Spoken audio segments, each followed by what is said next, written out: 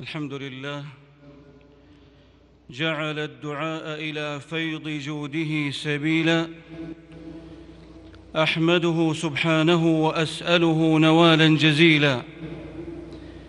وأشهد أن لا إله إلا الله وحده لا شريك له عز إلها جليلا.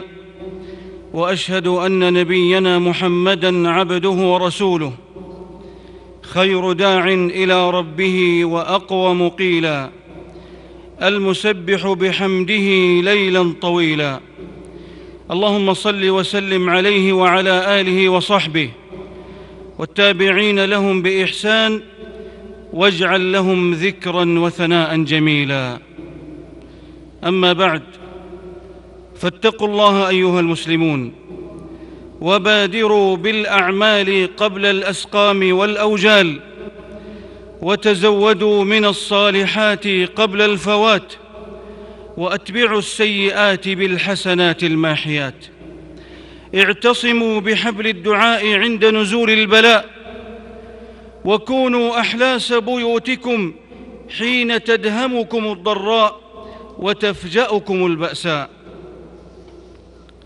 أيها المسلمون لا تزال الخطوب والوقائع في دنيا الناس تخبرهم أنهم فقراء إلى الله فقرا لا مدفع له وتبصرهم أنهم مهما بلغوا من آمال مجنحة وآفاق عريضة وسعوا في أقطار الأرض سعي المالك للزمام والآمر في الرغام فإن من ورائهم قوة هي أعلى من قوتهم وسطوة هي أبلغ من سطوتهم وقدرة هي أنفذ من قدرتهم وإرادة هي أتم من إرادتهم. تلك هي سنة الله في خلقه. أن يردهم إليه بالخطوب ويعالج منهم الكبر الإنساني بالبلاء الذي يشهدهم على ضعفهم. كلا إن الإنسان ليطغى أن رآه استغنى إن إلى ربك الرجعى. والشأن عباد الله أن الإنسان في غفلة حتى يوقظ بعلة فإذا ابتلي انتبه وإذا انتبه تذكر وإذا انتبه تذكر ربه الذي أعرض عنه. وغرته به الأماني والكاذبة وغره الشيطان الغرور بمكره واحتياله وشره. فإذا انتبه الإنسان من سنة الغفلة وأفاق من رقاد الهوى دب فيه الشعور القوي بفقره إلى مولاه ورأى أنه لا غنى له عنه طرفة عين ونظر فوجد أنه محاط بكلاليب البلاء. مأسور بقيود البأساء والضراء لا يرجو من نفسه خلاصا ولا يؤمل في قوته إنجادا ولا إنقاذا. فهرع إلى من بيده القوة جميعا وإليه الأمر جميعا وعنده العزة جميعا. فلم يجد أحب إليه من الدعاء ولا أكرم عليه منه. فدخل عليه من بابه الأعظم ووافاه من سبيله الأكرم وتعلق من فضله بجانبه الأتم. كيف لا يدعوه؟ كيف لا يدعوه؟ وهو الذي ناداه فقال جل في علاه وإذا سألك عبادي عني فإني قريب أجيب دعوة الداع إذا دعان فليستجيبوا لي وليؤمنوا بي لعلهم يرشدون. وكيف لا يدعوه؟ وهو يعلم أنه لا يرد القضاء إلا الدعاء وأنه لا يهلك مع الدعاء أحد. وكيف لا يدعوه؟ والدعاء هو سبيل الأنبياء من قبل الذي نالوا به من جليل الخير ما نالوا. فبالدعاء تاب الله على طائفة وللدعاء الحظ الوافر في من نصر منهم فأصبحوا على عدوهم ظاهرين. وكم هدى الله به من ضال وعافى به من سقيم ونجى به من كرب عظيم ووقى به من فتنة وصرف به من سوء ورد به من كيد وأبطل به من باطل. وإن تعجب فهذه سيرهم في القرآن شاهدة وأحوالهم ناطقة فهذا أبو البشر آدم وزوجه حواء عليهما السلام. قالا ربنا ظلمنا أنفسنا وإن لم تغفر لنا وترحمنا لنكونن من الخاسرين. فتاب الله عليهما وهداهما. وذلكم نوح عليه السلام.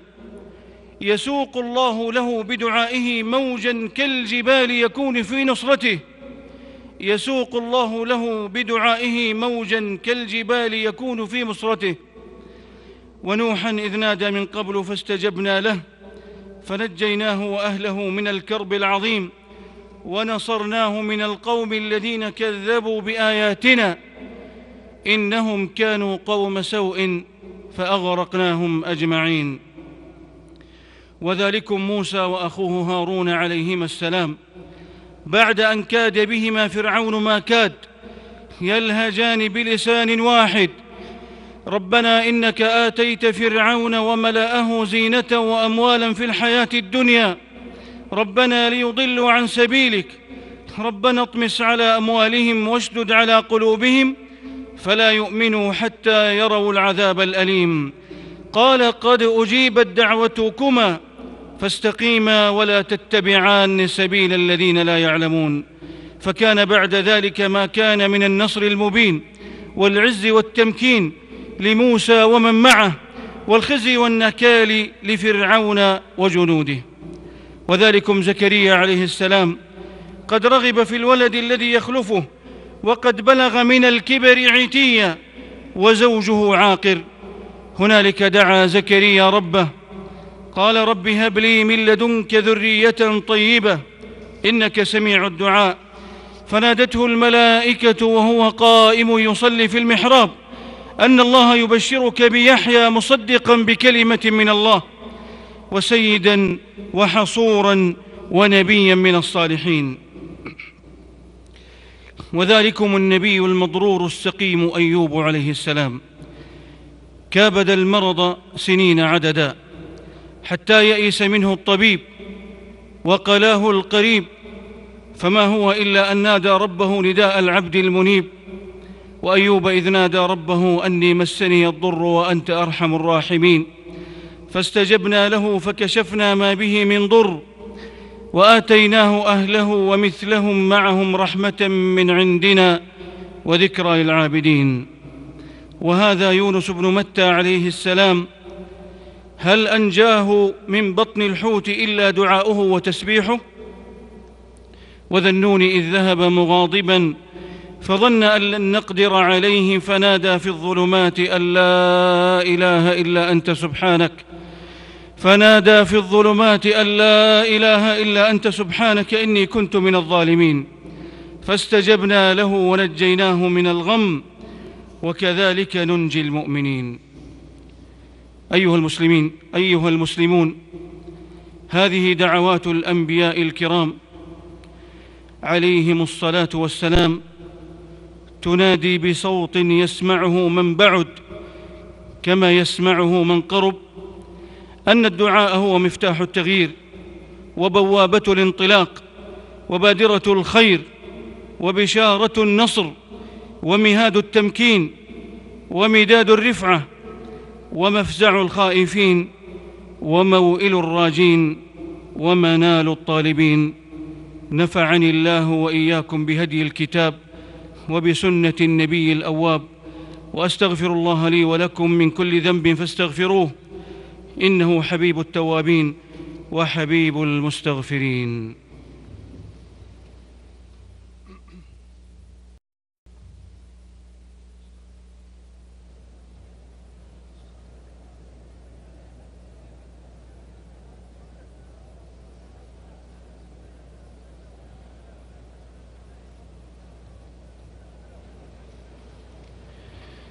إن الحمد لله نحمده ونستعينه ونستغفره ونعوذ بالله من شرور أنفسنا ومن سيئات أعمالنا. من يهده الله فلا مضل له ومن يضلل فلا هادي له وأشهد أن لا إله إلا الله وحده لا شريك له وأشهد أن محمدا عبده ورسوله صلى الله عليه وعلى آله وصحبه وسلم تسليما كثيرا. أما بعد فيا أيها المسلمون لا يكون للدعاء أثره المحبوب كما كان لدعوات الأنبياء عليهم السلام والصفوة من الخلق بعدهم إلا بأن يستصحب الداعي قوة اليقين وكمال الضراعة وغاية الافتقار وإطابة المطعم وتعظيم الرغبة والإلحاح والدأب وترك السأم واغتنام الأزمنة الشريفة والأحوال السنية. فعند ذلك تفتح له أبواب السماء ويرزق العبد ما يحبه ويرجوه من المطلوب ويأمن مما يخافه ويخشاه من المرهوب. قال الرب الكريم سبحانه في إثر امتنانه باستجابة دعوات أنبيائه عليهم السلام إنهم كانوا يسارعون في الخيرات ويدعوننا رغبا ورهبا. وكانوا لنا خاشعين. وقال تعالى ذكره ادعوا ربكم تضرعا وخفية إنه لا يحب المعتدين ولا تفسدوا في الأرض بعد إصلاحها وادعوه خوفا وطمعا إن رحمة الله قريب من المحسنين. فسددوا يا عباد الله سهام الدعاء بصالح العمل والمسارعة في أبواب الخيرات وملازمة الطاعات. ترشدوا وتظفروا بسؤلكم ولتجعلوا من دعاء الرخاء أوثق عدة لدعاء الشدة. فإن, نبيك فإن نبيكم صلى الله عليه وسلم أوصى فقال تعرف إلى الله في الرخاء يعرفك في الشدة. أخرجه الإمام أحمد في المسند من حديث ابن عباس رضي الله عنهما. وقال عليه الصلاة والسلام من سره أن يستجيب الله له عند الشدائد والكرب فليكثر الدعاء في الرخاء.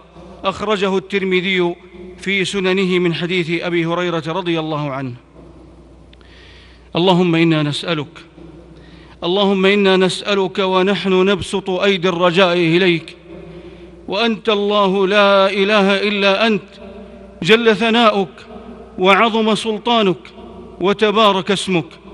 أنت القدير على كل شيء. يا من يقول للشيء كن فيكون.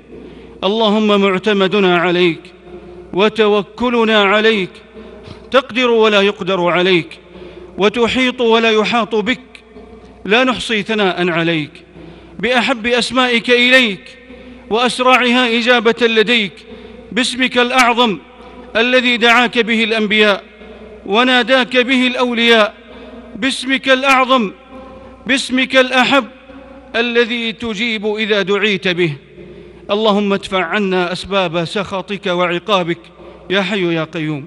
اللهم اجعلنا في عين عنايتك وقلب رعايتك. احفظنا بحفظك واكلأنا بكلئك واحرسنا بعينك التي لا تنام.